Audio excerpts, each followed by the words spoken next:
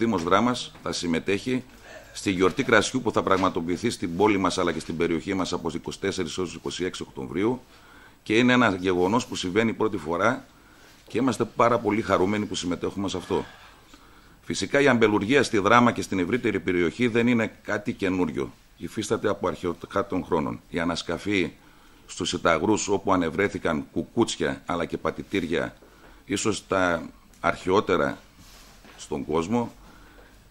Ο ναός του Διονύσου που βρίσκεται στην Καλή Βρύση, οι πρωτομές του Βάτκου στο Αρχαιολογικό Μουσείο, αλλά και πληθώρα των δρόμενων που έχουν σχέση με την διονυσιακή λατρεία μας το αποδεικνύουν. Η αμπελοκαλλιέργεια στη Δράμα ήταν διαδεδομένη εδώ και χιλιάδες χρόνια και δείχνουν ότι η τοπική ιστορία είναι ζυμωμένη με μύθους που έχουν επίκεντρο την παραδοσιακή καλλιέργεια της αμπέλου.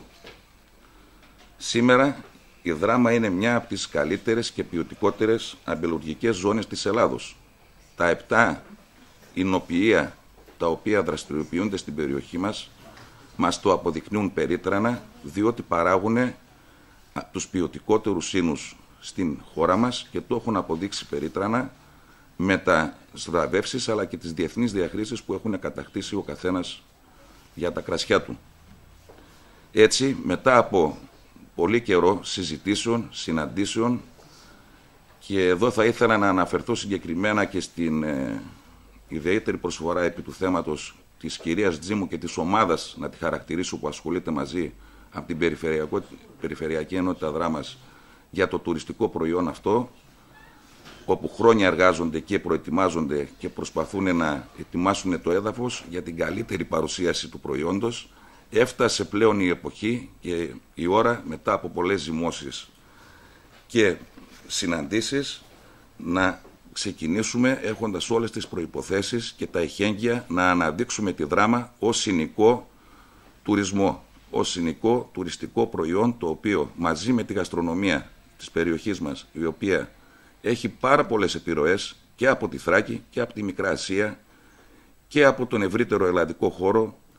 και από τον Πόντο παρουσιάζουν ένα ιδιαίτερο ενδιαφέρον και αυτά όλα μαζί στις 24 έως 26 Οκτωβρίου θα προσπαθήσουμε να τα αναδείξουμε σε όλους τους φίλους μας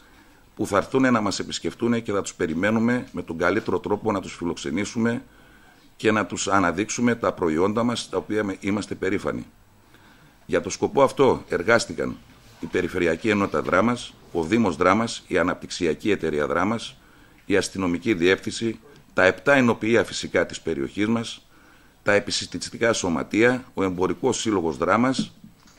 αθλητικοί σύλλογοι, ο πολιτιστικός οργανισμός Δήμου Δράμας για να μπορέσουμε να ξεκινήσουμε με τον καλύτερο δυνατό τρόπο. Στις 24 ε, Οκτωβρίου, στις 6 ώρα το απόγευμα, θα ξεκινήσει η γιορτή με τη συμμετοχή των φιλαρμονικών του Δήμου Δοξάτου, του Δήμου Δράμας και του Δήμου Προσοτσάνης, του Μουσικού Σχολείου, στην πλατεία της Δράμας θα πραγματοποιηθεί η εκδήλωση. Οι εινοποιοί μας με μια ωραία τελετή θα παρουσιάσουν και θα προσφέρουν το κρασί τους και θα ξεκινήσει έτσι η γιορτή μας η οποία θα κρατήσει το τριήμερο. Τα εινοποιεία μας θα είναι όλα ανοιχτά και ο καθένας εξ αυτών έχει προετοιμαστεί ώστε να κάνει κάτι διαφορετικό στο χώρο του, να προσελκύσει τον κόσμο, να πάει να κάνει γευσηγνωσία στο κάθε εινοποιείο και να γνωρίσει από κοντά τον τρόπο, τα αμπέλια τους, τις εγκαταστάσεις τους, τον τρόπο που χρησιμοποιούν για να παράγουν τα καταπληκτικά αυτά κρασιά. Στην πόλη μας, πέραν από αυτά, θα πραγματοποιηθούν διάφορα μουσικά γεγονότα με σχήματα ε, και στη Βενιζέλου και στην αγορά μέσα, όπου την Παρασκευή θα είναι ανοιχτή ως τις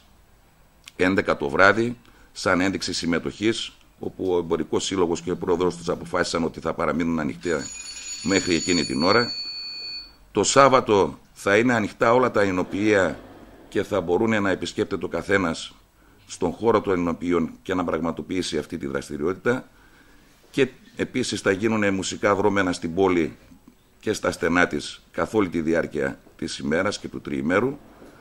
και το βράδυ θα δημιουργηθεί πάλι μουσικό γεγονός από συγκεκριμένο κατάστημα ε, καφέ μπαρ της περιοχής όπως επίσης και την Κυριακή.